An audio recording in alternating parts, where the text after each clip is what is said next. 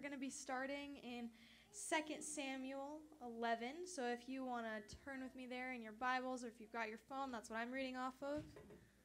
So we're in 2 Samuel 11. I'm going to be reading verses 1 through 17. The Bible says this it says, In the spring of the year, the time when kings go out to battle, David sent Joab and his servants with him and all Israel.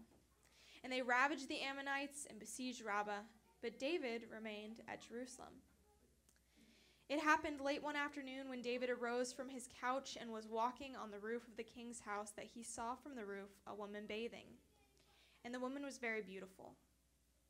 And David sent and inquired about the woman, and one said, Is not this Bathsheba, the daughter of Eliam, the wife of Uriah the Hittite? So David sent messengers and took her, and she came to him, and he laid with her. Now she had been purifying herself from her uncleanness. Then she returned to her house, and the woman conceived, and she sent and told David, I am pregnant. So David sent word to Joab, Send me Uriah the Hittite. And Joab sent Uriah to David. When Uriah came to him, David asked how Joab was doing, and how the people were doing, and how the war was going. Then David said to Uriah, Go down to your house and wash your feet. And Uriah went out of the king's house, and there followed him a present from the king. But Uriah slept at the door of the king's house with all the servants of his lord, and did not go down to his house. When they told David, Uriah did not go down to his house. David said to Uriah, Have you not come from a journey? Why did you not go down to your house? Uriah said to David, The ark in Israel and Judah dwell in booths and my lord Joab and the servants of my lord are camping in the open field. Shall I then go to my house to eat and to drink and to lie with my wife? As you live and as your soul lives, I will not do this thing. Then David said to Uriah, Remain here today also, and tomorrow I will send you back. So Uriah remained in Jerusalem that day and the next, and David invited him, and he ate in his presence and drank, so that he made him drunk. And in the evening he went out to lie on his couch with the servants of his Lord, but he did not go down to his house. In the morning, David wrote a letter to Joab and sent it by the hand of Uriah. In the letter, he wrote, Set Uriah in the forefront of the hardest fighting, and then draw back from him, that he may be struck down and die.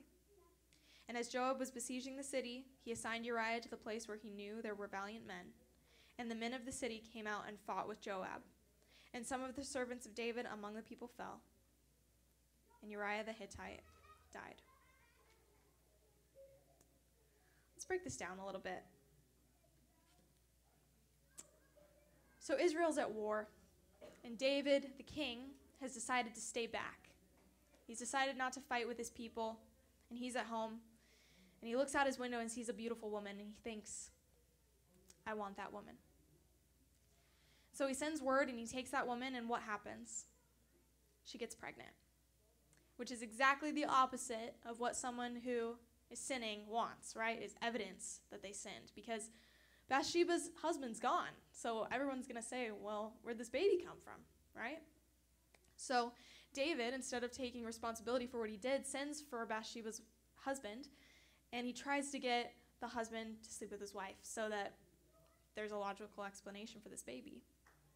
But Uriah's too good. Uriah says, I can't go home to my wife when I'm supposed to be out battling with my people? And so David resorts to sending him to the battlefront and killing him. And for context, this is the same David that defeated Goliath. This is the same David that God appointed as king, the same David that's supposed to be a man after God's own heart. But David instead fell into sin he stooped to the lowest of the lows. And my question when reading this is this is one of the most frustrating stories in the Bible for me is why would a man described as a man after God's own heart stoop so incredibly low? And I think after reading this and thinking it through that the issue at heart here is that David was not content with what he had. David had decided that whatever he had was not enough. And let's be clear, David was the king of a nation. He had a palace, and he had all the food in the world he could possibly want. He had wives. David had everything you could possibly want in the worldly sense. and yet he was still discontent. And I think that what this shows us is that if the king of a nation who seems to have everything can be discontent, then being content has nothing to do with how much or how little you might have, right? So often we find ourselves wishing for more more money, more time, more rest, more friends, whatever it is. We wish for more. And my thing is, I, I lust for experiences. Like, that is what I want. I want to travel. I want to go on adventures. I wanted to have, you know, before I was married, I was like, oh, I want to be married so bad. I, it'll be so much fun. And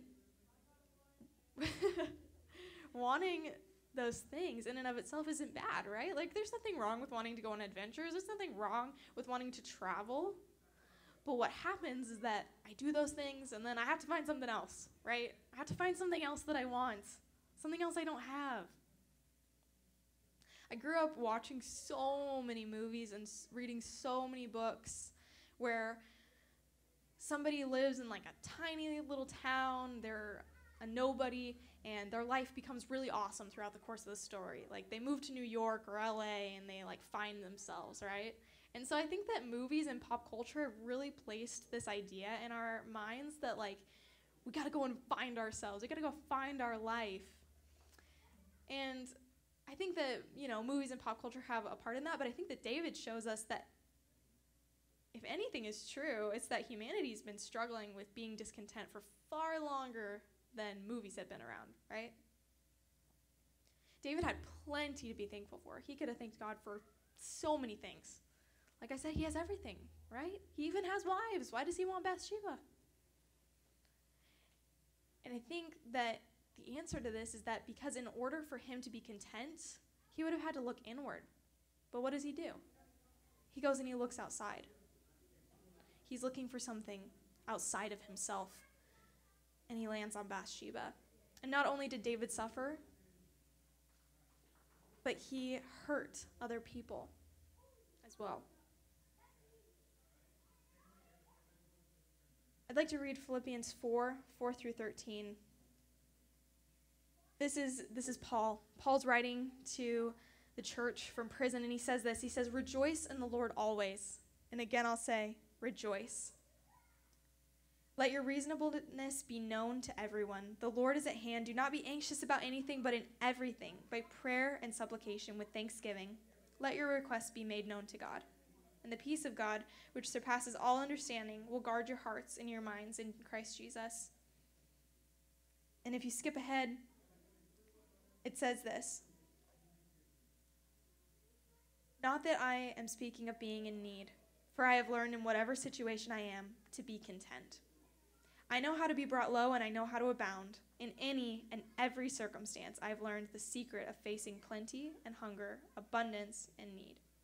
I can do all things through him who strengthens me. Paul tells us that he's learned to be content in all situations, and he's not joking. He's not just saying it. This man is in chains, he's in prison, and he's saying, Rejoice, there are things to be excited about. Paul is living proof that you do not need to have everything. You do not need to be in the perfect situation in order to be content. We have so many things to be thankful for, and Paul is showing the church in this. He's saying there's always something to rejoice in. You can be content always. And I'm living proof of that. But something that's important about this is that Paul's not complacent, right? Paul had every excuse not to keep working, but what's he doing? He's writing to the churches. He's still ministering, even though he's in chains. He's still sending word. He's still saying, keep the work going. He's encouraging. To rejoice in the Lord always and to be content in all situations is not to be complacent. Contentment is not equal to complacency.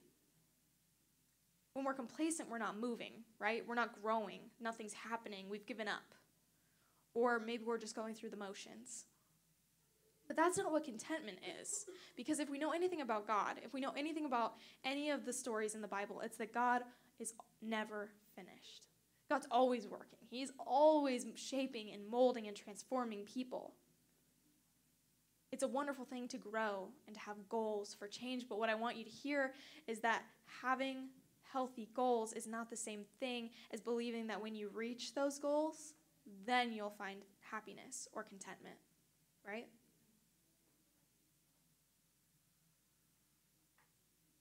Paul showed us that it's wonderful to have goals. That man, oh my goodness. I think he was overwhelming. I think Paul was probably a really overwhelming person because he was traveling, he was writing, he was planting churches, he was encouraging disciples, which is so wonderful. But man, oh man, did he have goals, right? And yet, he's content, always, in all his situations. Regardless of how far along he is on any given goal, he was content. But I think that just because you're growing doesn't mean you have to be discontent with the process either. I think a lot of times we think, this process is really exhausting, or maybe you're waiting. You don't know where God's taking you next. You're in this awkward waiting. You know something is about to change, but you're not sure where or what. And waiting takes some discipline, right? I think waiting is work. And that's what makes it different than being complacent, right? When you're waiting, you're actively listening, you're actively seeking. And it takes discipline to remind yourself okay, I'm in the waiting, I'm in the patient period. We're getting there. So don't give up if you're still working on yourself, if you're not perfect. I'm assuming you're not perfect. That's okay. It's okay to not be perfect, but don't give up. Keep working, keep waiting. The other problem is that we are very quick to look at our journey and do things like comparing ourselves to others.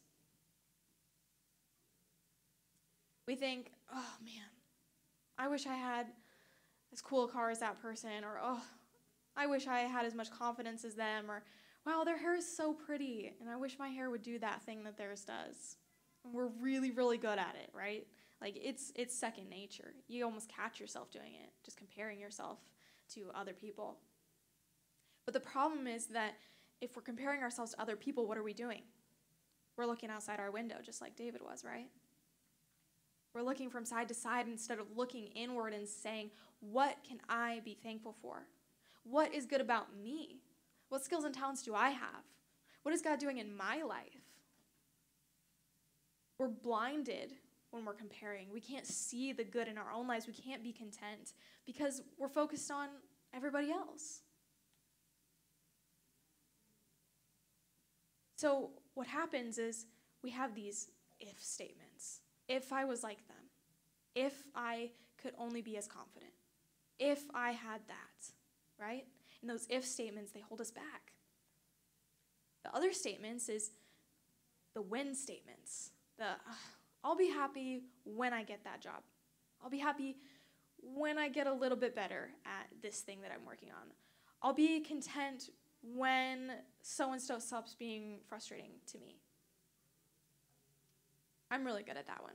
The, well, when I get to do that, or when I've got this much experience and I'm this confident, or when, when, when, when, right? But those when and those if statements take away from where we are now. And that's the problem.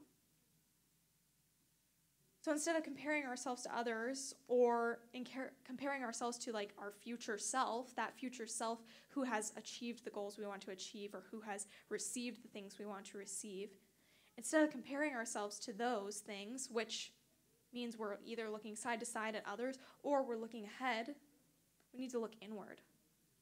We need to look at what we have in the now. What can you thank God for? Do you have food? Do you have a family? Do you have a car that gets you to the job that pays your bills? Do you have a church family that loves you? You do. The answer is yes. And even if all of those worldly things go away, even if the car breaks down, even if you have no income all of a sudden, even if you're on the rocks with your family, even if all of those things break down, what we still have is a God who loves us, a God who breaks chains, a God who is constantly working on our behalf, a God who might be saying, You gotta wait, but I'm still working. We always, always, always have that. And I think that that is what Paul is getting at. When he's in chains, he's saying, Yeah, I don't have anything. Guys, like, I'm sitting here, I'm in chains, I can't even leave this place. I have exactly what the jailer gives to me, right? Which is just about nothing. But I'm still content because I have God and I know that God is working, and I'm excited because God is doing great things and I'm going to get to see those things. There are five really important components to being content. And the first of those is satisfaction. Find joy in the little things. Find joy in your morning cup of coffee. That's my favorite. I'm pretty sure, like, every time I make a, um, a thankful list, somehow my morning cup of coffee gets put on there first. it's just the first thing in the morning. It kickstarts your day, it's warm, Really enjoy spending time with your family. Don't think about the other people you're not spending time with. Don't think about how, now, introverts don't come for me. I'm not saying alone time is bad, but don't think about how you could be doing something else on your own. Enjoy your family, love them. Find satisfaction in all the things that you're thankful for. Take a list and write down the things that you're thankful for. The second thing is a lack of envy. We talked about it before. Comparison kills contentment looking at other people's possessions or opportunities or relationships, that all blinds us from what we have. And it tears apart our contentment. The third thing is humility. We have to humble ourselves because I think we very often think, oh, I deserve better, or I just, I th- always thought that I would be at a different place than I am now. And we think, oh, God, what are you doing? Like, I, sh- I just, I wish I was in a better place. And God, you, you should really get on that. That's a pride issue. We have to humble ourselves and remember that we don't know best in every situation. The fourth thing is discipline. It takes intentionality to be content. You have to remind yourself when you catch yourself comparing. We're not going to do that. What am I thankful for? When you remind you got to remind yourself when you're thinking of the when in a way that is unhealthy, wishing you were already there. Remind yourself, I'm here in the here and now, and this is what I think to th- be thankful for now. And the last thing is this an abhorrence or hatred of greed and corruption. Jesus said it would be easier for a camel to go through the eye of the needle, and I wanted to explain that we're not talking about it's not impossible for a rich man to get into heaven, okay? We're talking about not a little needle, but the needle was a gate that was in Jerusalem and um, camels had a hard time going through it and they didn't like it. They had to go through like kind of crouch down on their knees and it was hard to get a camel to go through. Hard but not impossible. But the point is that it's so hard if you're constantly wishing for more and more and more and more and more to be content to be able to focus on the things that matter to be able to focus on the things that god is doing for you. God's calling you to a life that is fulfilled that is God's promise to us is that our life will be fulfilled in him. He sets us free. He works on our behalf. He has a purpose for us. So when we may not have all the things that we want in a worldly sense, maybe we don't have the job that we love. Maybe we don't have that car that works very well. Maybe maybe you don't have a car at all to get you where you need to go and you're worried about how you're going to get a job. Life is tough, and I'm not trying to take away from that at all. But what we can learn from Paul is that even when life is tough, God is always with us. It is always working on our behalf, and we always have something to rejoice in. So the next time you catch yourself comparing, the next time you catch yourself wishing that you were already in the next stage, remember that God has given us things to be thankful for now. God has given us a life that is fulfilled now. There's always something to be thankful for. Don't allow yourself to fall into sin like David. Don't look side to side. Don't look out the window. Focus on what God is doing in you now. Let's pray. God, I'm so thankful. I'm thankful for your love for us. I'm thankful that you are always with us. You never abandon us no matter what hardships we're going through, no matter what sins we've committed, God, you love us. You work on our behalf.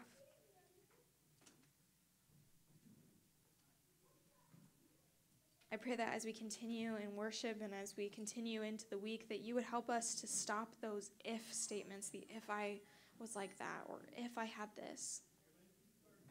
The when statements of, oh, well, I'll be content when I get there.